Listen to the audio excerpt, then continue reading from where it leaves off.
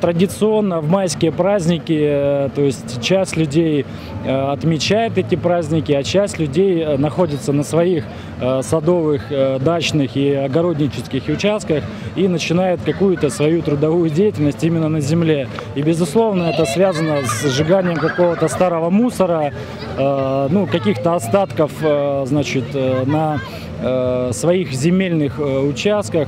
И, конечно, это все, как правило, к сожалению, сжигается. Поэтому в этой связи хотелось бы предостеречь все-таки граждан э, от того, что э, не следует все-таки разжигать костры э, на территориях своих домовладений, поскольку э, особый противопожарный режим предусмотрен, э, предусматривает также и э, значит, более серьезное наказание административное, то есть в виде штрафа. Если мы говорим о гражданах, это от 2 до 4 тысяч рублей. Если мы говорим про должностных лиц, это от 15 э, до 30 тысяч рублей. И на юридических от 200 до 400 тысяч рублей. Поэтому с большой осторожностью необходимо все-таки проводить эти майские праздники и все-таки мусор стараться убирать э, в специальные места для сбора и отвода для, ну, для мусора, для сбора мусора.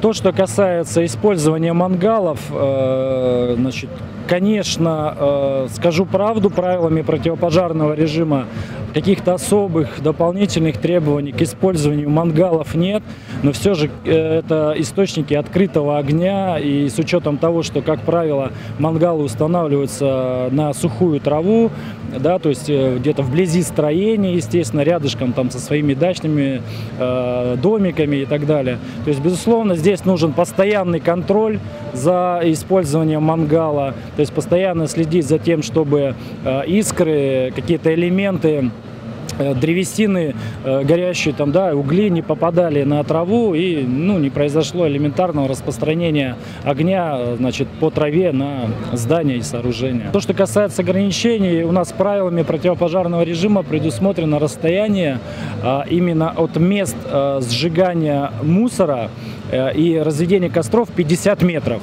Но это только если не введен особый противопожарный режим. То есть в настоящее время он введен, поэтому разведение костров на любом расстоянии от зданий и сооружений, оно запрещено правилами. У нас с 15 числа постановлением правительства Вологодской области э, введен э, значит, э, пожароопасный сезон на территории области. С 20 числа на месяц, то есть до 20 мая Также постановлением правительства у нас введен особый противопожарный режим, то есть который э, вводит дополнительные требования пожарной безопасности, э, которые связаны с э, ограничением посещением торфяников, значит, лесного массива и сжигание, разжигание костров, сжигание сухой травы на землях всех категорий.